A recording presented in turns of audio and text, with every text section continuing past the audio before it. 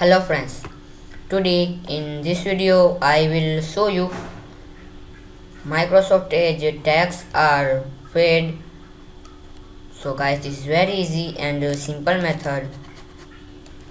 So first you need to click on start and open microsoft edge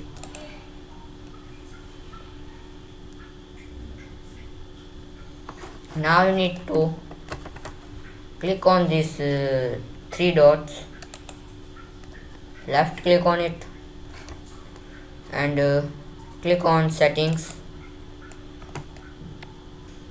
Now scroll down and you see this system. And you see this scroll down and you see this fade sleeping.